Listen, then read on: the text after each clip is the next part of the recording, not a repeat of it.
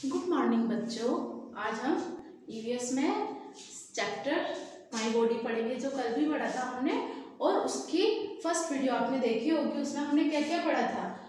Internal organs in the human body हमने body में हमारे इंटरनल और एक्सटर्नल कुछ ऑर्गन्स होते हैं, उनके बारे में पढ़ा था। ऑर्गन्स कितने होते हैं? फाइव तो हमारे एक्सटर्नल ऑर्गन्स तो फाइव होते हैं, जो कौन कौन से होते हैं? Ear ear sorry ear eye nose tongue and skin तो उनसे हम क्या क्या करते हैं, वो सब मैंने आपको कल बताया था।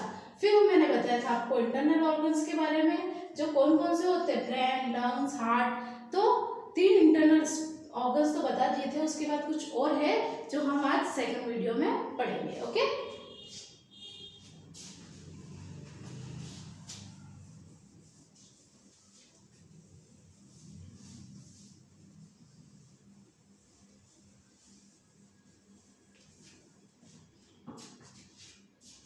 अब है हमारा थर्ड इंटरनल ऑर्गन्स पढ़ लिए थे हमने और फोर्थ ऑर्गन्स है। स्टोमक हार्ट तक तो हमने पढ़ लिया था, अब पढ़े हम स्टोमक स्टोमक आप जानते हो क्या होता है? स्टोमक यानी होता है हमारा पेट। जो हमारे पेट के अंदर डाइजेस्ट पाचन जो होता है, तंत्र, उससे हमारा स्टोमक कहा जाता है। वो तो किसके आकार का होता है? इस तरह से होता है, ये देखो।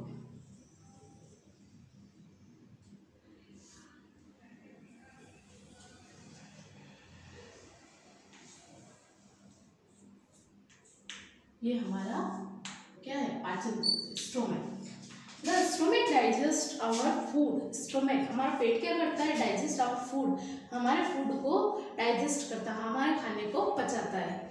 Digestion time varies and may take twenty four to seventy two hours digestion time यानी हमारे पाचन का टाइम जो होता है कभी कभी चौबीस से बहत्तर घंटों के बीच भी हो सकता है। अब है लीवर। इंटरनल स्टोरेज है लीवर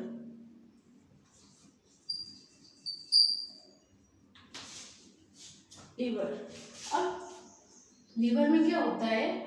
जो हमारी छोटी आंत, बड़ी आंत बोलते हैं ना, हमारे जो, हम पेट के, यानी हमारे पेट के नीचे, पाचन तंत्र के नीचे जो आते होती है, बड़ी आंत, छोटी आंत, उन्हें क्या कहा जाता है? लीवर कहा जाता है ना? This is your liver which help use in easy digestion of food liver जो होता है, हमारे खाने को इजी आराम से पचा देता है। It lies to right of stomach और ये हमारे कहाँ होता है? पेट के राइट और होता है। फिर एक किडनी जो लीवर का चित्र किस तरह से होता है? इस तरह से।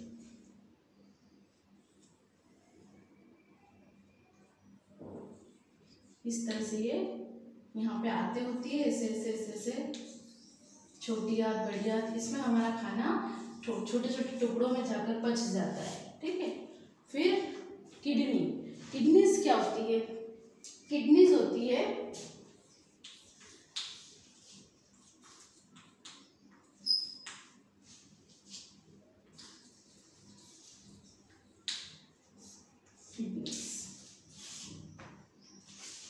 देर आर टू किडनीज हमारे जो पेट में क्या होता है? दो किडनियाँ होती है। There are two kidneys in our body which look like beans ये किसके जैसी होती है? एक दाने के आकार की टाइप की होती है, ये देखो।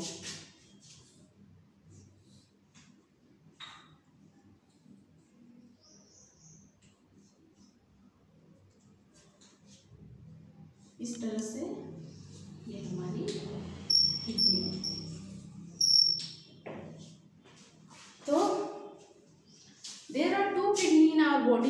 like beans they help us to remove waste material from the body. ये हमारे शरीर के अंदर वेस्ट मटेरियल क्या होता है? जो खराब होते हैं, पानी पीते हैं हम, उसमें से है ना कुछ तो पाचन हो जाता है, उसके बाद कुछ जो होता है, खाना खाते पानी पीते तो कुछ तो पाचन हो जाता है, उसके बाद कुछ जो खराब पदार्थ होता है हमारे पेट के अंदर, जो खाना पचता नहीं उसको क्या करता है वो बाहर निकालता है।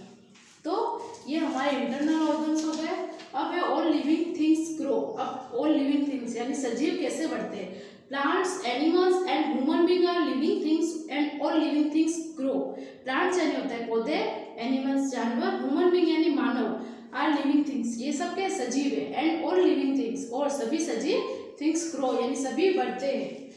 When we grow the body parts also grow जैसे जैसे हम बढ़ते हैं, या वैसा हमारा शरीर में मतलब जैसे जैसे हमारा शरीर बढ़ता है, वैसे वैसे हमारे शरीर के अंग भी बढ़ते रहते हैं। This happens happens with all the living being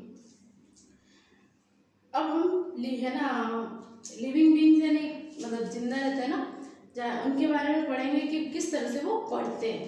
A chicken is born from an egg सबसे पहले मुर्गी के बारे में दिया गया है यहाँ पे चिकन क्या बनता है? सबसे पहले अंडा एग बनता है, अंडा बनता है, फिर चिकन वो उसको फूटने के बाद में उसका चूजा, छोटा सा वो बनता है चिकन बनता है, फिर बड़ा बन के वो हैन मुर्गे बन जाता है।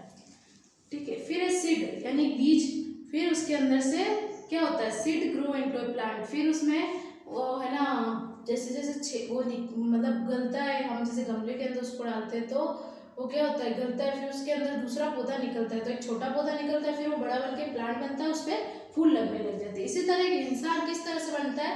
बेबी सबसे पहले वो क्या होता है, छोटा शिशु जन्म लेता है, फिर चाइल्ड एक बच्चे के रूप में थोड़ा बड़ा होता है, फिर एडलोसेंट यानी एक किशोर के रूप में और फिर एक एडलट यानी वयस्क के रूप में हो जाता तो जैसे जैसे हाँ हम छोटे होते फिर उससे थोड़े बढ़ते फिर उससे थोड़े बढ़ते तो सारे ही लिविंग थिंग्स क्या करते हैं? ग्रो करते हैं। तो ये आपका चैप्टर हो गया है और इसका जो आपको होमवर्क है, मैं आपको फ़ोटो खींच के सेंड कर दूँगी ओके आप अपना होमवर्क करके मुझे ग्रुप में सेंड करें। Thank you